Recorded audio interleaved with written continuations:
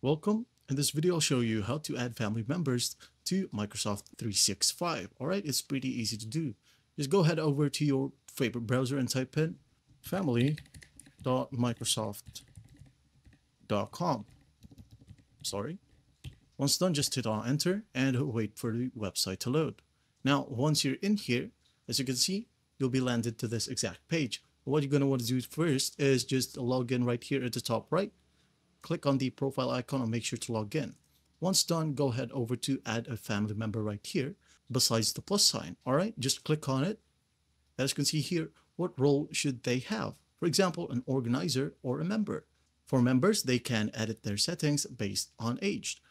And for organizers, they can edit family and safety settings. All right, let's say, for example, you just want to give them the uh, basic permissions. Just hit on member, click on it, and hit on next. All right, as you can see here, you can add them by using your WhatsApp. All right. By using this, it will automatically send them an invite link through their WhatsApp app. All right. Or you can just go ahead and enter phone number right here or email. All right. Let's say, for example, I'm going to add in my wife.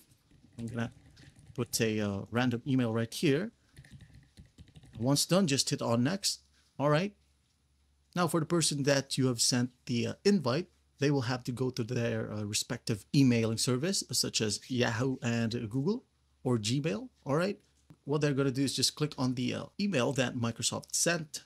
There will be an accept invite link right there. And once done, they'll be listed in here on your family's page. All right. And after that, they will be able to use your Microsoft uh, 365 features as well. And that's basically how you do it. Well, I hope this video helps and I'll see you in the next one.